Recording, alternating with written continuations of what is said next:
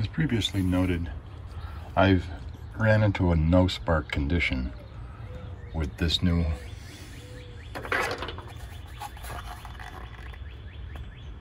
high performance distributor by Davis Unified Ignition. So I went six ways to Sunday with this thing, and I'm finally on Sunday. I replaced the ignition coil wondering if that was wrong. Well, now we can pretty much rule that out that that was not the problem. I got into just to uh, diagnosing the coil. The coil diagnosed perfect with no problems at all. So I checked it against the ground and there was no ground. And here's what we're dealing with. This is the grounding wire right here.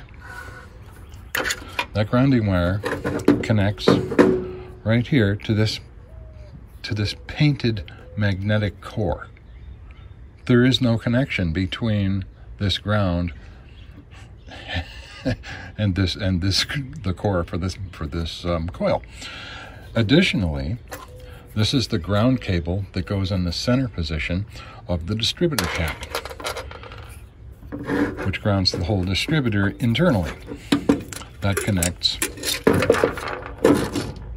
right here.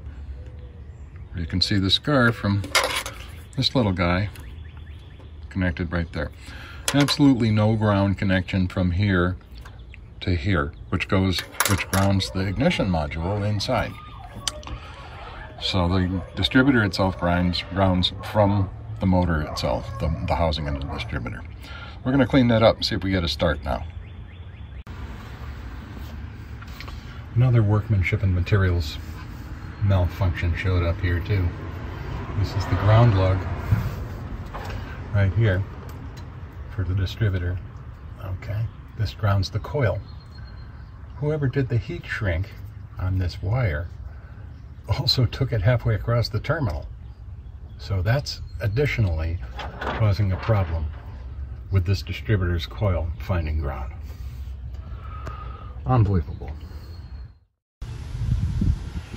So after all this monkeying around, we got everything back in. Got the grounds all straightened out on the internal portion of the distributor. So I haven't started this thing up in several weeks, probably three. Let's see what happens.